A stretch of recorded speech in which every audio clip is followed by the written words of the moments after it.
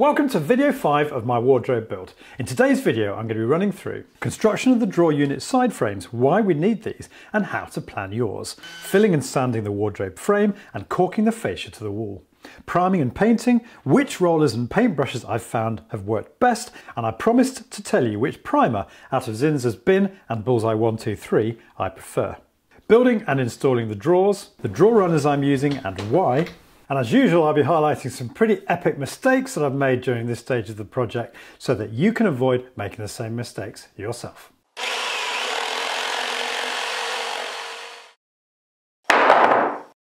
Now in the description below this video you will as usual find the entire tool list for this build so far, but the following will feature heavily in today's video. My Erbauer plunge saw, my Ryobi random orbit sander with trend sanding discs connected to my Henry vacuum, my Ryobi quarter inch shank trim router, my old Bosch jigsaw, my sliding bevel miter saw, two part wood filler, and some Continental filler knives, paintbrushes and roller sleeves sourced from a small shop on eBay, more on which in a bit. These drawer runners, sourced from Ironmongery Direct, Zinsser Bullseye 123 and acrylic eggshell top coat from Johnstone's, and the ever-present safety equipment for protection with all that MDF dust flying around. So let's start with the drawer frames and someone please let me know if there's a more technical name for these. But why do we need these? Well, partly so that the drawers have decent clearance from the doors, but also so we can get our hands in to disengage them from the mounting plates if we want to take the doors off. I could have used traditional butt hinges like these, but I like the fact that the Euro hinges are hidden, their soft close functionality, and also the fact that you can adjust the side, depth and height once the doors are in position. More on that in the next video. So I decided to make the frames to these dimensions, my wife being particularly keen that there was plenty of clearance from the doors. The exception being this single door wardrobe where there are no hinges on this side so I've minimised the depth of the spacers and brought them forward as otherwise it would have been a nightmare to paint in the gap. And to maximise the storage space, I've left just 10 to 13 millimetres clearance between the front of the drawer and the doors when the doors are shut. Obviously you'll need more if you plan to put knobs on the front of your drawers rather than the more minimalist design that I've opted for. And I've got to say there was a bit of trial and error here. I somehow made the first frame too short, meaning I had to add some additional fillets to the back of the frame to bring it forward to the desired point. I cut the frame itself using my plunge saw and as the front edge of the MDF would be on show, I decided to add a pine edge which again I cut with my circular saw from some offcuts pinned and glued into place and then trimmed flush with the MDF using a trim cutter on my router, recessing the pins with a punch so that they can be filled later on and I found placing two frames together gave me a really secure base to run the router along. Again I cut the spacing strips that fit behind the frame with my circular saw and then glued them in position using Mitre-Fast. Whilst it has its limitations, I'm getting quite into this stuff. It sets incredibly quickly in under 10 seconds and is perfect for this job as ultimately I'll be mechanically fixing the frame in place. And whilst not strictly necessary, I also attached a diagonal strip to prevent any internal flexing of the frame. And then mechanically fix them into position with these 100mm Quicksilver twin thread wood screws. It's important to get the internal measurements of the drawer frames as accurate as possible, front and back, top and bottom, to prevent the drawers jamming on the runners, but also to make your life as easy as possible in terms of having consistent measurements to make your drawers to.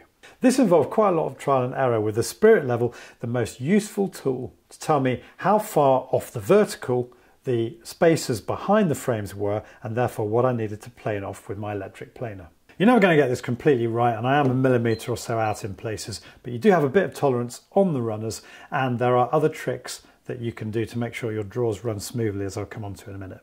Okay, this section is as important as it's tiresome to do if you want to achieve near perfect professional results. Now, someone quipped in the comment section this week that filling hides a multitude of sins, and of course it does. But I don't hide behind this or pretend that my fascia joints were all bang on because a lot of them weren't. However, with a brilliant two-part filler like this, there are lots of these on the market and they all do a similar job, you can achieve near perfect results. The key is to mix up a very small amount each time so that you have minimal wastage when it starts to set. And the setting time depends on how much activator you put in. You want to put in as little as possible, but typically you have about three to five minutes to work on the joint before it starts going off. The second point is it's really important to use decent tools when you're using two-part wood filler. And I love these little Continental filler knives. And you want to tool just enough filler into the gap or the screw or nail hole to leave it slightly proud of the surface to minimize the amount of sanding you need to do. In case you're wondering why I didn't miter these two beaded edges properly, I just couldn't visualise what they would look like before I made them, and so I got the miters wrong. But the wood filler came to the rescue, and a final tip, if you set to work with a razor blade like I did here, as the filler is going off, rather than waiting for it to set hard, you can shape the filler pretty well, saving valuable sanding time. And speaking of sanding, I've always sanded everything either by hand with a block and sandpaper like this, or I've used this old Bosch sander. But as I have a lot of Ryobi batteries, I recently upgraded to one of these random orbit sanders and it's been a revelation, both in terms of the power and effectiveness at removing quite substantial depths of wood like I had to here, where the glue had set too quickly for me to line up the fascias properly, as well as for sanding filler.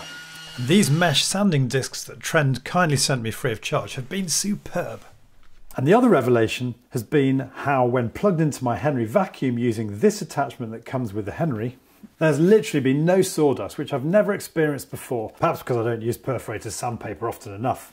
But this is so handy given that I've been doing all of this work in our bedroom. And so we're on to the painting and caulking. There are so many primers out there, both specifically for MDF and more generally for all types of wood.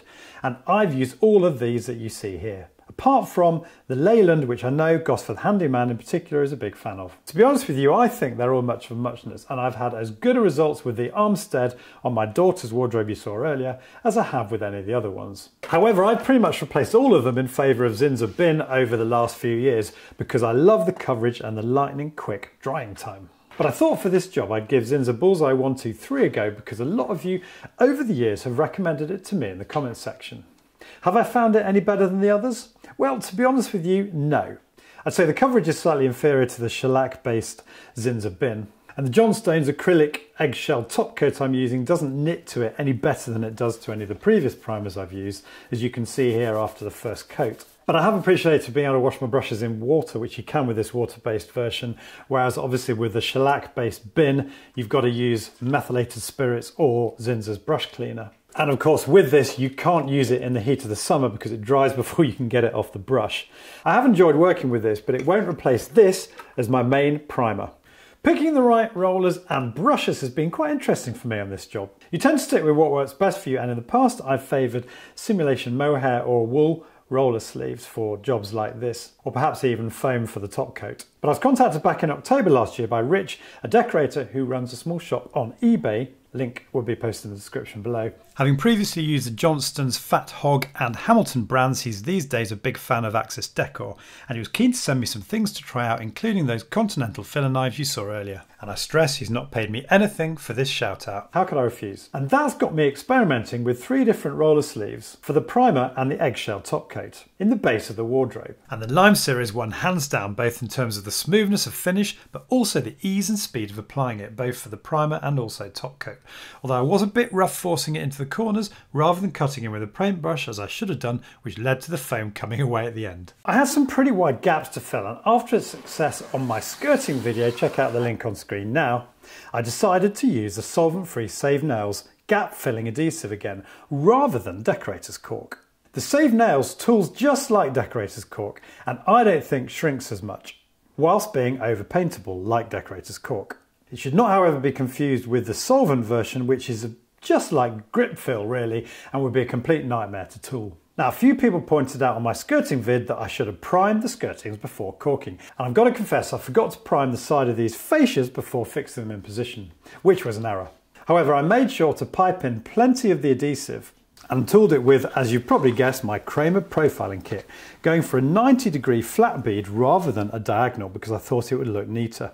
A word of advice though, if your bead does shrink below the surface, as mine did in a few places, it makes it very, very hard to cut in a neat paint line. So it's advisable to apply a second coat of caulk or adhesive before you start cutting in to ensure you've got as flat a surface as possible where the gap was. And maybe if I had primed the side of the fascia before caulking, shrinking wouldn't have been such an issue. Now for cutting in there are a wide variety of specialist brushes available on the market and after experimenting with a few of these on this job, in the end I settled for this non-specialist 51mm brush. You've just got to experiment and find out what works best for you. And so we're on to the drawer box construction, which could be seen by us DIYers as one of the most daunting parts of a wardrobe build. But it doesn't need to be, because I've come up with a really simple design over the years, which does away with any sophisticated drawer joints and therefore specialist tools and equipment. My drawers are constructed from 18mm MDF at the sides, front and back with a 12mm base. All joints are butt joints glued and screwed together with those brilliant SPAX screws I've been using throughout this project. I think this is marginally stronger than having a full width drawer front screwed into the sides and you don't see the side end grain because the drawer box is finished off with a front face. The front face which I made 10mm higher than the front of the drawer box can then be precisely lined up and then glued and screwed from behind to the drawer box. And for the base, again, rather than routing a groove and embedding the base in the sides, I go for the much simpler approach of screwing the base to the underside of the drawer. This has the advantage that provided the base is made perfectly square, which you can check by measuring its diagonals, when you screw it to the underside of the drawer, it trues up the drawer box, leaving that perfectly square too. The disadvantage, I suppose, is that you might see the base from the sides when the drawer is open, but with careful painting, this won't be obvious, and I think the benefit of this design outweighs this minor drawback. And for the drawer runners, I was tempted on this project to use concealed drawer runners as you see here on our kitchen drawers, but was put off by the cost when compared with the runners I've used in the past. Although actually there are more reasonably priced alternatives to Blum, so maybe I should have given this a go. And of course you've got to factor in that recessed design into the base. So I decided to stick with the double extension ball bearing runners I've bought from Ironmongery Direct for all my wardrobe projects over the years. This time in a black finish to blend in more given the dark colour of the wardrobe. More on these in a minute. We decided to copy the style of these drawers I'd seen on a project in my old day job, albeit mine requiring the additional front face to extend past the drawer frame to hide the drawer runners. As usual, all elements of the drawers were cut from sheets of MDF with my Erbauer plunge saw, for the curved handle in the top drawer and the curved sides of the drawer boxes below. I decided to create a jig to guarantee uniformity of the cutouts, which I shaped with my old Bosch jigsaw and some new blades recently bought from Amazon.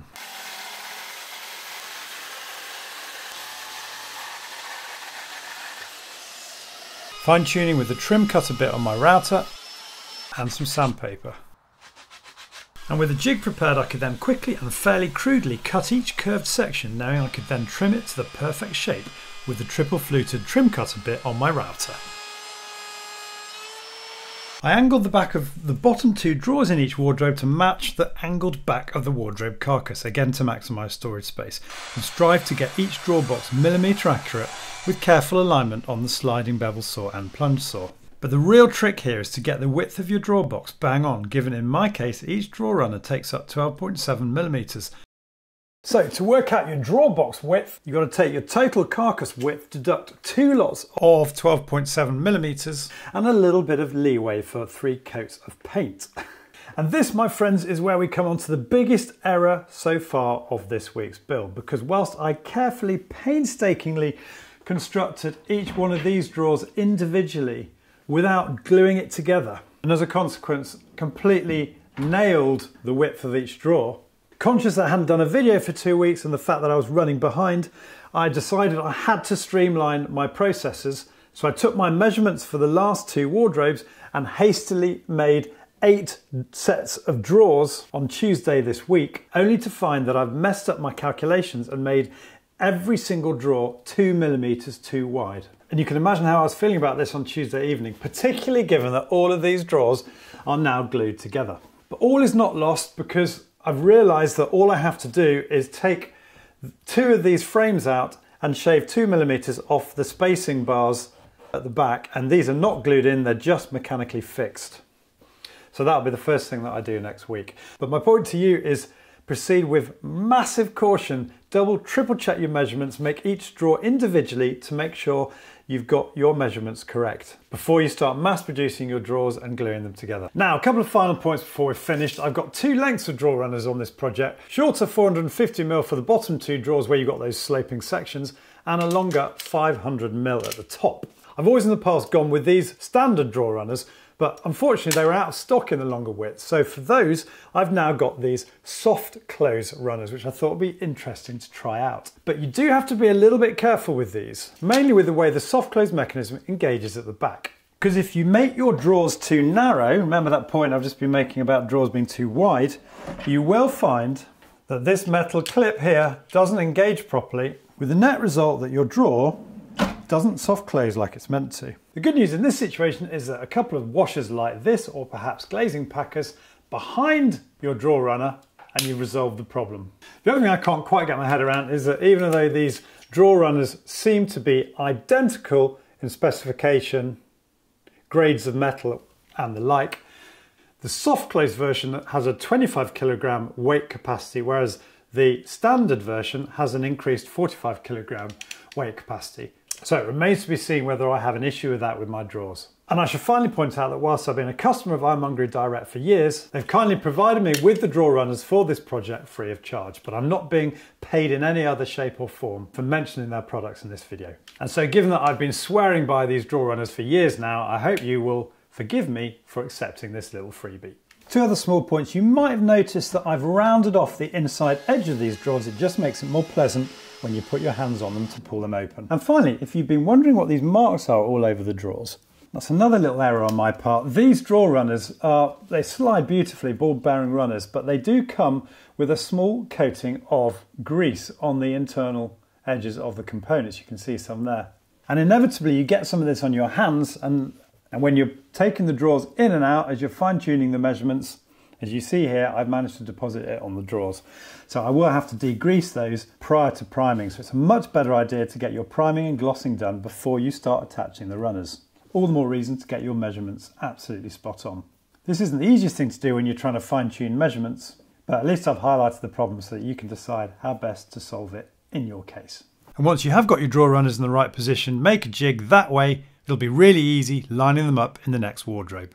So that's it for today in what I hope will be the final video of this series because I think six videos is probably enough for you to sit through. I will have all the drawers in and painted, the shelves in and also the doors constructed and fitted. And that will probably be in a couple of weeks time given the amount of work that will be involved. I hope you found today's video useful. If you have, it'd be great if you could give it the thumbs up below. And if you're new to my channel, as I always say, it would be fantastic to have you subscribe. You can do that by clicking on the link here and do make sure you click on the bell notification icon so you get notified of all my future uploads. See you soon.